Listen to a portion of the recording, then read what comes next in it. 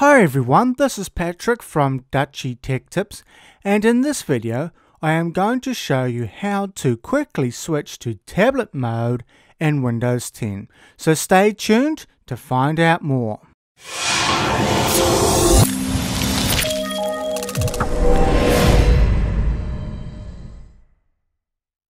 A while ago we did a video on how to turn on tablet mode in Windows 10.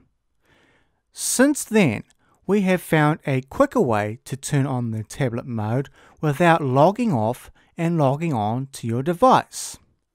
To do this, we need to go to our notification window, which is on the right hand corner of our taskbar. So we need to left click on this, which will bring up a window called Action Center. Now, right down the bottom left, we notice there was a button called Tablet Mode.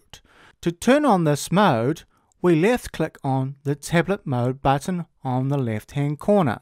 And as you can see, it has removed our desktop icons and displayed our start menu items, and while keeping our desktop background intact.